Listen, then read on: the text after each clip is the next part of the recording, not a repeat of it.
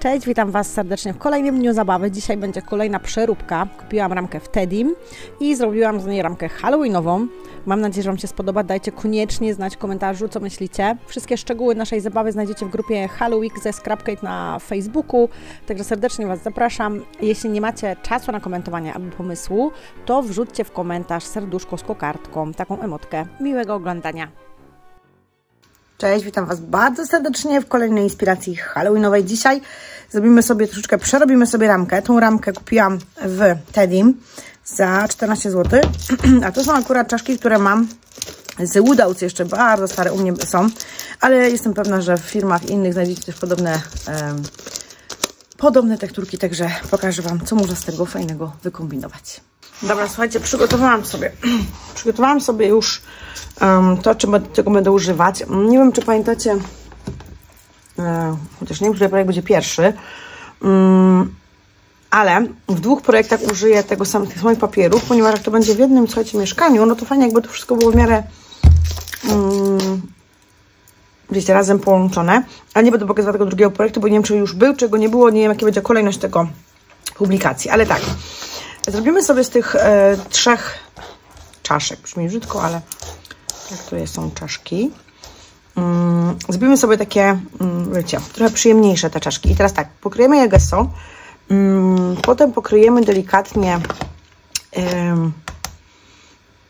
y, distressem, tak żeby je troszkę pocieniować.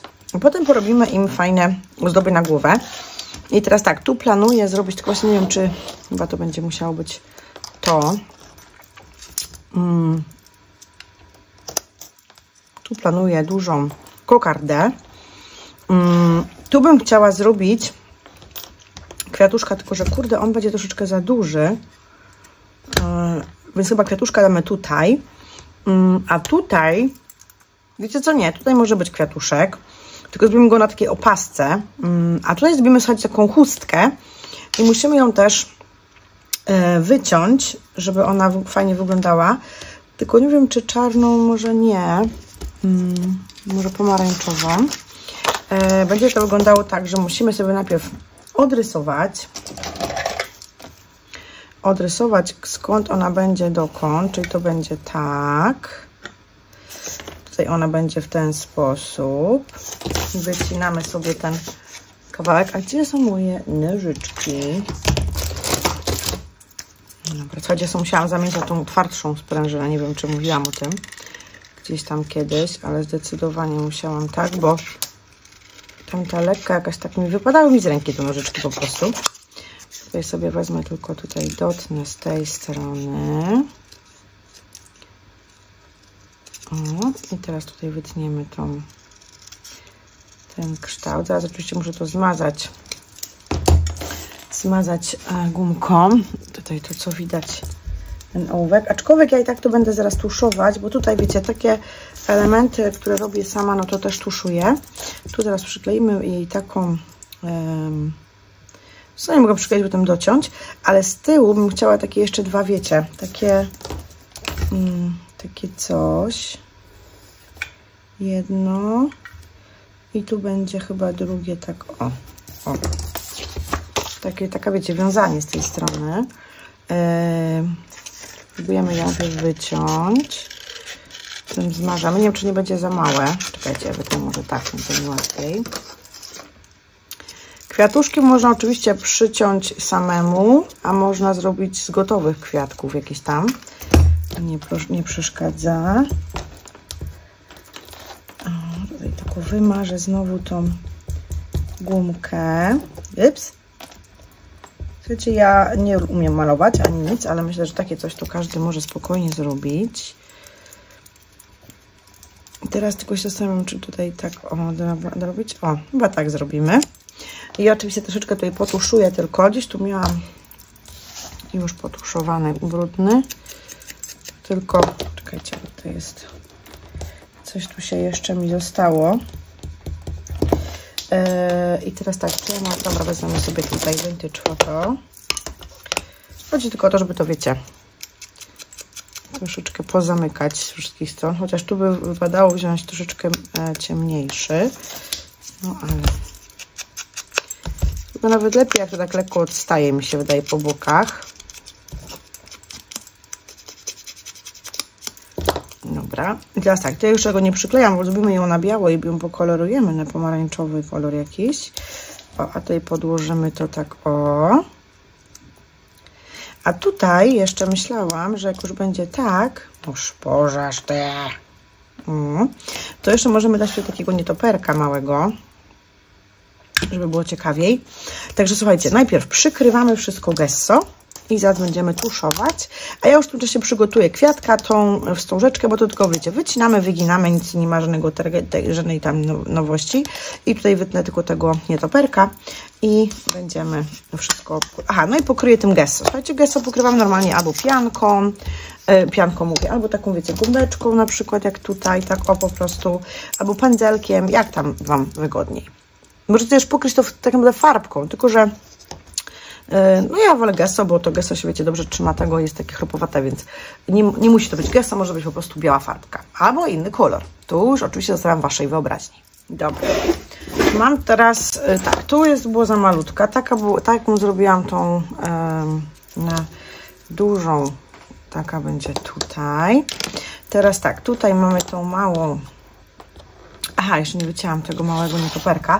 Jego chyba zrobię czarnego, bo tak się zastanawiam, żeby on był widoczny, bo jest taki kształt, wiecie, bardzo delikatny. Mm, więc chyba go zrobię na czarno. I troszeczkę go tak ruszymy. Ojej, czekajcie, bo mam akurat pod ręką czarnego kawałka. Dobra, sobie go za chwileczkę wytnę. Ale tutaj do tego kwiatka, on będzie tutaj. Chciałabym zrobić jeszcze opaskę, on będzie z tej strony. Chciałabym zrobić opaskę, więc musimy też e, troszeczkę odrysować. Chodzi nam o to, żeby odrysować tutaj bardziej o szerokość tej głowy. I teraz tutaj sobie tą opaskę jakby narysować na tej szerokości. No, metodą prób i błędów zrobimy tą maseczkę. Tylko, żeby to była właśnie taka opaska. Tutaj mniej więcej tak. O. Pokażmy, czy będzie dobra. Będzie dobra, tylko muszę tutaj zmazać znowu ten ołówek. Nie wiem, czy moja tego ołówka nie robię z drugiej strony, ale jakoś tak, nie wiem. Mogę narysować z drugiej strony, a tutaj tylko wyciąć, ale już niech będzie. Dobra, to będzie opaska do tego kwiatuszka. I teraz troszeczkę muszę ją chyba też tutaj przytuszować, jest taka malutka i cieniutka, ale mimo wszystko widać, że nie jest przytuszowana chyba. E, ja to pokryłam, słuchajcie, dwoma kawałkami, dwoma mm, gestowymi warstwami. I ja nie chcę robić tego całkiem białe, bo tutaj ten, to płótno, to też na płótnie będzie fajnie wyglądało, bo jest takie delikatnie, wiecie, takie delikatnie się wydaje płócienne tutaj ten, ten, ten. No i teraz kolory. I tak się zastanawiam, czy zrobić jakieś kolory, wiecie, fiolety, odcienie fioletów i um, odcienie fioletu i będzie za mocny. Może nawet y, różu, bo tutaj będzie tak. Victorian Velvet. Jeszcze powinien mieć taki fiolet delikatniejszy jakiś, bo sobie właśnie myślę, żeby to było fioletowe, o, poczekajcie. Tu jest taki jeszcze, ten jest taki ciemny. Ten jest troszkę jaśniejszy, ale taki dość mocny. Hmm, dobra, zobaczymy najpierw może... Najpierw ten. E, I teraz tak, wezmę sobie jakiś... Ten, no, on jest w miarę czysty. Mi się wydaje, że on raczej nie będzie brudził. Tak. Teraz tak, najpierw sobie tutaj zrobię ten... O. I tutaj sobie odznaczę. Delikatnie tak, żeby było, żeby nie było widać takich, wiecie, krechy, tylko tak delikatnie wytuszowane do środka. O, dobra. I teraz weźmiemy sobie tą naszą opaskę, bo jest taka cieniusienka, nie gdzie mój ten cieniutki klej mi się chyba już skończył. Ten klej strasznie szybko zastyga, ale opaskę trzeba przykleić. O, idzie. I teraz tak, tutaj przyklejamy opaskę. I tutaj z boczku kwiatuszka, tak żeby nie weszło na oko. No. Dobra, teraz tak, temu przyklejamy tą naszą. I tu wszystko widzicie, wszystko jest w podobnych kolorach, żeby to fajnie wyglądało. Chociaż można by było zrobić bardzo kolorowe to. A, i teraz sobie tutaj tylko przykleję to. Matko, w brzuchu mi jeździ. Nie wiem, czy to słychać. Chyba słychać. Tak. No. I tutaj zaraz przyczepimy ten. A, musimy go jeszcze pokolorować. Tego to bym zrobiła, słuchajcie, w różu. A może w pomarańczu?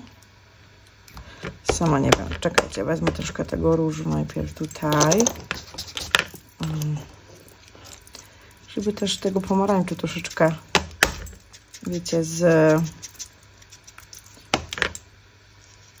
Żeby troszkę tego pomarańczu było mniej. Ups. Mi się tutaj... O, dobra. O, dobra, ok. Jest taka bardziej różowa. To może zrobimy pomarańczową, kurczę. To może zrobimy pomarańczową. Też taka lekko stonowany ten pomarańcz. I tak jak mówię, tu można było też wykleić papierami kolorowymi. No, Wam tutaj daję oczywiście przykład na wykorzystanie, ale Wy już sobie sami zrobicie tak, jak Wam będzie się podobało. Oczywiście nie muszą być akurat takie konkretnie um, papiery, to nie muszą być takie konkretnie e, te e, czaszki, no cokolwiek to może być. Ups, dobra, wydaje, że będę musiała ją troszkę bardziej potuszować, bo tu chciałam jakieś miała brudne coś. Dobra, i teraz tak. Tą troszeczkę też jeszcze bardziej zrobimy, tak, żeby była troszkę bardziej widoczna. O, tutaj brzegami. O. I tą też robimy, ale to już muszę wziąć nową. Czekajcie, czekajcie, czekajcie. Co to jest za kolor? To nie jest ok. A gdzie mam od tego kolor? Tu jest od różu. Róż jest tutaj. Mm, muszę sobie wziąć czystszą.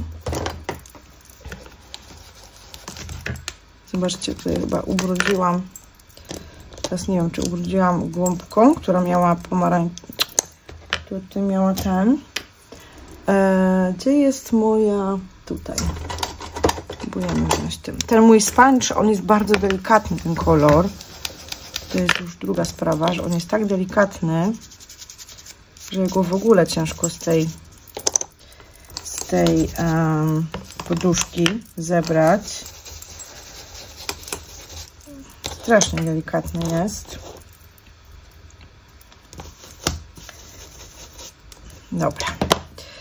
Yy, oj, trochę nam się przestawiło. Hello. Dobra. No i cóż, mamy te szczeszki już gotowe. Tylko myślę sobie, żeby tą jeszcze bardziej w jakiś sposób... Mam jeszcze e, Sugar Sponge, a mam jeszcze taki róż mocny. Tak mi się kojarzy. Teraz próbuję go gdzieś zlokalizować. Taki róż, róż cukierkowy on jest. Ja myślę, że on będzie tutaj idealnie wyglądał, muszę go zlokalizować. Znalazłam. Może tak zrobię rękoma już. O, dobra. I już lepiej. Lepiej, lepiej. Tu chyba też trochę damy takiego różu. O, dobra. Dobra, dobra. Tak myślę, że ten mógł być bardziej fioletowy, ale dobra, już jest ok. Yy, dobra, no i teraz tak, chowamy sobie te nasze tusze, nasze wszystkie elementy i zabieramy się za przerobienie troszeczkę tego. Znaczy tu nic nie będziemy takiego strasznego przerabiać, tylko chciałabym zrobić przede wszystkim tak, że musimy to najpierw zdjąć. O. Musimy oderwać, bo my tego tu nie chcemy. Tu widzę, że tu muszę odciąć, bo to jest e, przyczepione takimi, widzicie, zszywkami. To jest ciśnięte. Co my możemy stąd wyciągnąć. Ciągamy te tutaj obrazki. One są przypięte takimi szpileczkami. Może się szpileczki przydadzą. Obrazki nam się nie przydadzą. No i tutaj myślałam sobie, żeby tylko jeszcze zrobić fajne, fajną ozdobę. I teraz sobie weźmiemy weźmiemy sobie mas nie maskę, tu, no maskę i tutaj bym zrobiła to właśnie różowo, albo nie, fioletowo-pomarańczowe. Fioletowe, chociaż to może być troszkę za mocny ten fiolet. Myślę, że będzie ten troszeczkę lepszy, stonowany. A może pomarańczowe z fioletowym? Czekajcie, jakbyśmy tutaj dały te nasze, tutaj damy te nasze, tu będzie jeszcze ten jeden. I tak się teraz zastanawiam, czy pomarańczowe, czy... Nie, fioletowe z tym, z pomarańczem. I teraz tak, bierzemy sobie tak. Bierzemy sobie gąbeczką może. No i teraz nakładamy kawałek tej naszej pajęczynki. Pajęczynki z tej strony. No. Dobra, i oczywiście z drugiej też. Przykładam sobie tutaj do brzegu i nakładamy.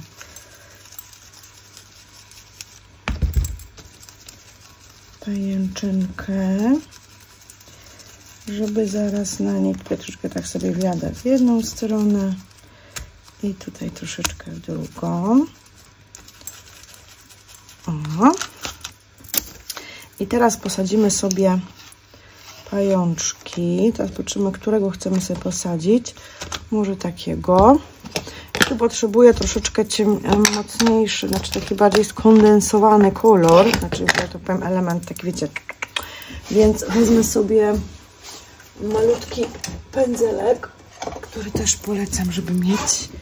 I tym malutkim nałożymy sobie tutaj pajączka, ale mówię, musimy go tutaj nałożyć dużo tego.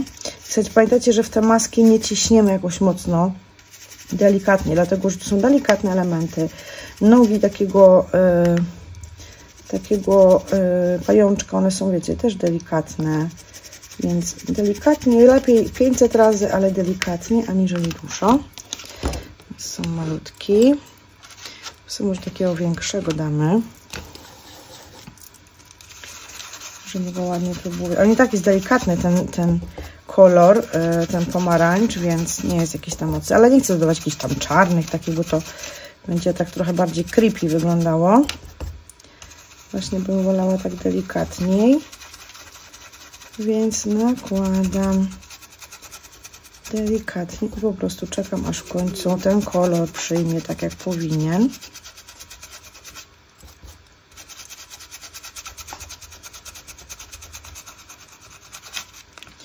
O, to jest takie. One są takie bardzo delikatne, nie są takie, wiecie, yy, no mówię, creepy, nie? I tu może sobie damy jeszcze jednego z boku, takiego małego. Malutkiego, malutkiego. Żeby nie było tak bardzo widać, żeby to fajnie się... No i tak, lepiej, sobie teraz dwie strony, raz tak wrzucam, raz tak. Dobra. Ok, no i teraz teraz możemy w sumie to już włożyć do środka i później dopiero i później dopiero zrobić, przykleić nasze nasze czaszki. Uch, moje pazury, matko boska. tu, i tu, i tu. Żeby się nie pomylić chociażby z układaniem. Damy tą dużą. Tu może damy tą. A tu może damy tą. Słuchajcie, tu jeszcze też fajnie można by było dać, e, wiecie, w oczach jakieś takie te kolorowe kuleczki albo coś błyszczące, ale nie chcę tego robić, bo czy można by było na czarno podbić na przykład, albo na jakiś kolor, w sensie, żeby to było, wiecie, całe widoczne, a nie przebijało, ale ja właśnie chcę, żeby tak było troszkę delikatniej. Muszę jeszcze wyciąć tylko tego małego nietoperka i zaraz e, wracam. Wycięłam, słuchajcie, nietoperka i jeszcze tylko troszeczkę go wygnę, żeby on, wiecie, odstawał tutaj od tej, bo mamy trójwymiarowy ten cały element, tą ramkę, więc wykorzystamy to, że ona jest trójwymiarowa i że właśnie tutaj te wszystkie elementy mogą sobie tam odstawać. O tak. I zastanawiam, czy tutaj dać, nie dać jakiegoś fioletowego takiego środek wykończenia. Na przykład takiego. Dać takiego, o. Tak, żeby było jeszcze sweetaśnie. Teraz sobie tutaj odczepię. I to y, ludzie mówią, że to nie jest oswajanie y, dzieciaków ze śmiercią. U mnie to jest, słuchajcie, oswajanie ze śmiercią, bo no chcąc nie chcąc to są czaszki i to wszystko się tak kojarzy nam raczej niefajnie, ale to jest kolej rzeczy, więc, więc niekoniecznie nie jest to oswajanie. Dobra, teraz się tylko zastanowię, czy to się przyklei tym na spokojnie, czy nie będzie jakiegoś innego kleju. Może by było jakimś klejem, ale tu myślę, że spokojnie się to przyklei, bo to jest to jest HDF, więc to klejem inteligatorskim. No i oczywiście klej też wsiąknie nam w płótno. Więc powinno się to dobrze przykleić. Oczywiście trzeba będzie pewnie troszkę poczekać, żeby to się dobrze tam przykleiło. Ale myślę, że spokojnie się to przyklei bez problemu. To damy troszeczkę niżej. I tutaj to na dół. Ja tutaj na początek próbowałam je kolorować e, takimi markerami zakrzona. I też można by było je, słuchajcie, pokolorować tak, żeby było. I mamy to. I mamy to. I słuchajcie, obrazek jest gotowy. Um, tu można było coś jeszcze z tą ramką robić, ale właśnie nie chcę. Nic. Chcę, żeby to było tak właśnie bardzo prosto i tylko do powieszenia, żeby się nie pomylić, tu są zawieszki. I taki obrazeczek na, ściankę, na ścianę. I zobaczcie, delikatny nie jest creepy, raczej wesoły, z przymrużeniem oka i fajnie ozdobi tak te parę halloweenowych dni. Także serdecznie Was pozdrawiam. Zapraszam Was do oczywiście swoich interpretacji. Tak jak mówię, może zrobić to zupełnie inną ramkę, może zrobić to, no słuchajcie, to jest tylko jakby obrazek na ścianę, tak?